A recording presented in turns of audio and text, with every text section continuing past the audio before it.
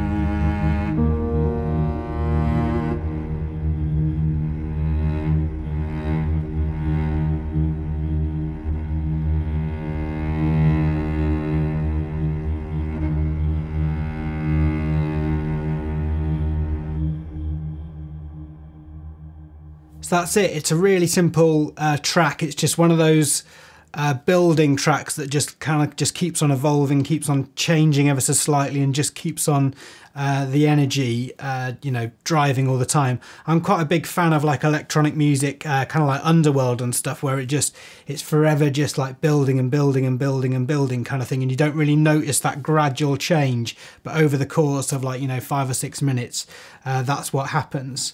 So it it kind of all started. Okay, this is a long story, so it all started. I was directing uh, a documentary in China as part of a much bigger campaign, uh, like a you know like a, a film documentary, uh, and I was in China, and it was like the week before Christmas we got called out to go to China uh, to do some filming, and I kind of looked at my wife and I was like, I've got to go to China the week before Christmas, and she was like, Well, you've got to pay the bills, you know, you've got to do you know what's right for the family and you've got to kind of like take on these things. And when i was in china i was kind of getting you know quite homesick and sort of you know it was a great job. I really enjoyed myself. The team was amazing all those kind of things. If you've ever been part of a you know film crew you know it was was an amazing time. But there was this one point where we'd gone out to a bar you know i was desperate to find uh, just some kind of release from this film and you know like, let's go out and you know drink and find some local life. But then kind of about two three o'clock in the morning i found myself near my hotel with a couple of mates around me uh, but feeling quite homesick. And i was on this square uh, and I just heard out the my the, you know the corner of my eye, heard out the corner of my eye, heard, heard out the corner of my ear, uh, just this vending machine, and it was just kind of like forever giving me this like you know this instruction. And i was like i don't really understand that. So i talked to one of the chinese guys that we were with and he was just like it's it's telling you to pay the bill because you know you're you're, you're putting your order in and it's saying you know like give me the give me the money sort of thing you know. And but it was forever going on. And at that point i was like i'm in china. I'm 1300 miles away from home whatever it was feeling homesick and then there was this this machine this chinese machine just telling me to pay the bill pay the bill pay the bill. And it kind of then reminded me of what uh, you know my wife said is just like you know we've got to pay the bills and this is the reason you're out here kind of thing. So that was like the whole reason the track was built. And like so let's just play this audio recording uh, so you can hear what it was like live. I thoroughly recommend uh, doing this. This is just kind of like an iPhone, uh, obviously. Uh, you know, you can use something more sophisticated uh, to record your recordings on, but I often find like uh, an audio recording does more to jog my memory and more to kind of like, you know, make me think about a place than a picture sometimes does. Because for me, it kind of puts me in that space more than a picture does. So the first recording I did, 19th of December 2018 It was just that, it's just the street noise. Wasn't a lot. And then I heard this vending machine.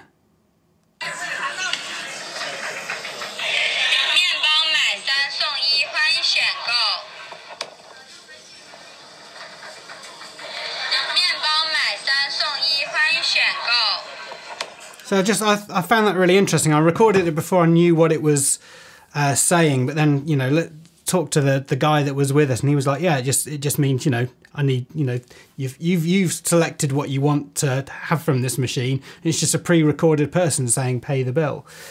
But then it made me think of like what my wife said, and like you know got me feeling you know quite homesick, and like I wanted to write this track. And the whole sort of like philosophy behind writing the track was like uh, coming like uh, coming back home basically and the piano line is is basically that it is it's those four notes just played time and time again, like, you know, that's all I want to do is come back home to the root note. Just like, and, and because the notes are going down, it feels like you're coming back somewhere. And that's it. So I just played those notes throughout the whole track. And I wrote that on the plane on the way back home. I was like, right, let's get this down. You know, didn't have a keyboard with me. It's just on my laptop, just like tippy tapping away. I re-recorded it afterwards once I got back and you know put a bit more human feeling into it. And then the cello, that's when, you know, I recorded the cello, we got that done, and I was like, right, this is the perfect time to do it. And the cello, I won't play it live on the keyboard, I'll just solo this and show you what it sounds like.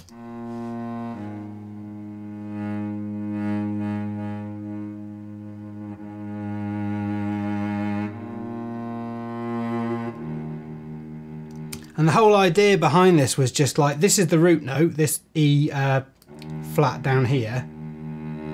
This is where the whole track is always coming back to.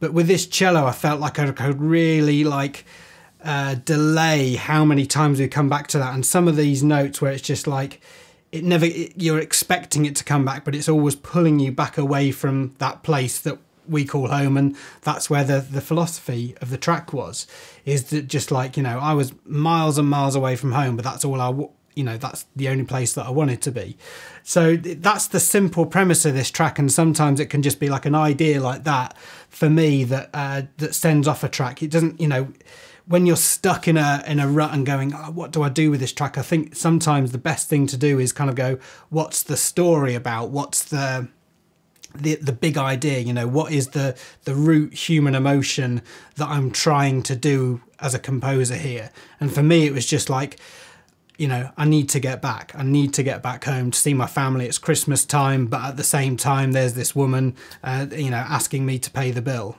Uh, so that's it. As simple as that sounds that's it. Uh, so yeah that cello just builds over the whole, whole course uh, of the track uh, then there's this flat uh, flautando patch at the end, which I am a big fan of. This wasn't played without any sort of like uh, ideas about uh, how it should be be performed afterwards.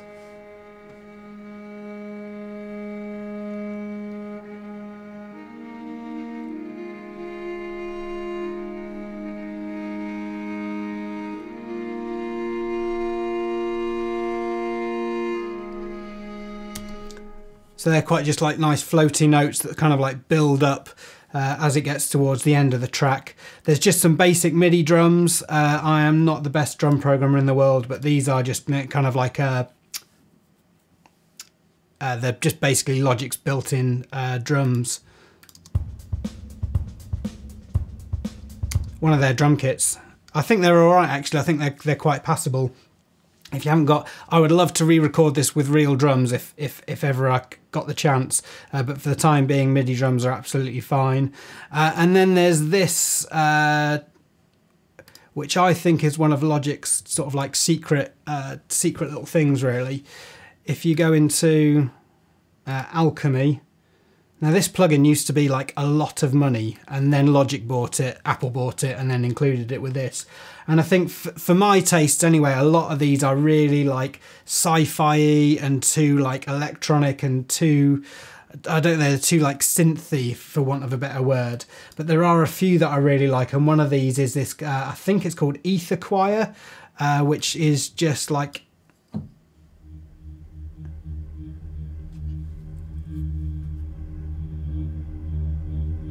A really nice sound. it kind of complements our libraries quite well in that it's like it's simple but it's like forever changing and just slowly moving all the time. I played around with the, the default preset. I find a lot of these presets are they're okay. They're sort of like the majority of the way there, and then if you just do some, uh, you know, some changing around with the controls, you can get them into a much nicer space than they already are. Or not a much nicer space, but like a place that's better for your track. So that note just, you know, carries on throughout the whole track and that is just like the underscore for the for the whole thing. Uh, and then there's the sample at the beginning. I was I was contemplating using this sample throughout the track, but I thought well, no, this is the sample that kind of spurred off the track, so let's just leave it at the beginning and then leave the rest of the track to just be what it is. So there's, I, I did quite a lot of processing on this.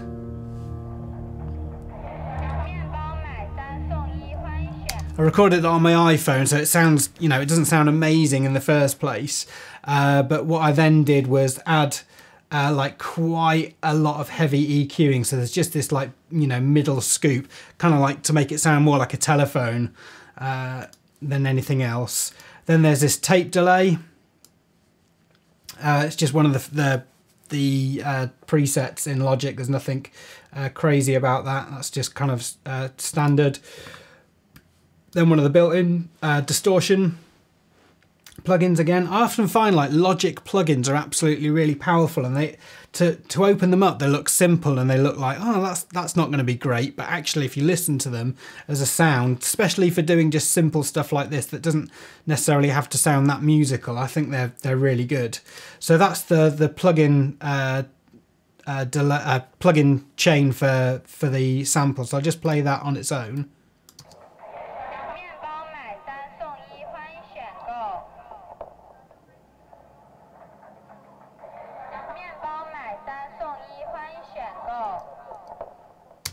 And then everything, as it always does, just goes through Concert Hall Vienna with uh, FabFilter's Pro R uh, plugin, and that went, you know, through it as well. I think the drums, yeah, every single thing uh, on this track except the uh, Ether Choir or Aether Choir, correct me if I'm wrong, uh, is going through that. So, like, that's it. I like, you know, like I said uh, before, this track was really, really simple, but it's one of those tracks that, that actually came from somewhere. You weren't making up emotions or you weren't, you know, I wasn't making up, oh, I want this track to sound, you know, epic and angry because I'm epic and angry. You know, it was built from from a genuine place of emotion, and it was built from just you know me at three o'clock in the morning in the middle of China, you know, uh, you know, with a few too many beers and me going, I kind of, you know, it's the week before Christmas, I miss home and I'm listening to this vending machine telling me to pay the bills.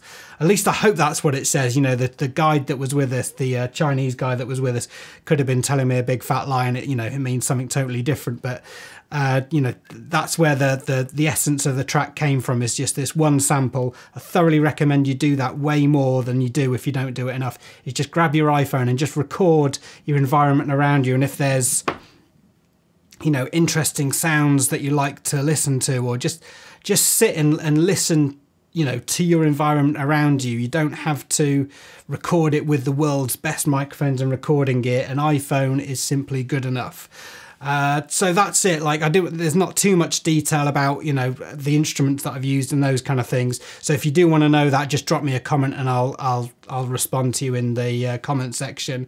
But it was more like where does this track come from?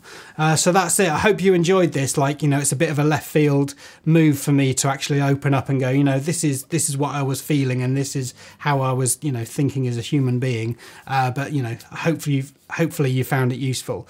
Uh, so as as always, uh, if you like what we've uh, done, like hit the like button and subscribe uh, uh, to our YouTube channel to keep up to date with you know loads more videos like this coming. so that's it, and we'll see you on the next one. Take care.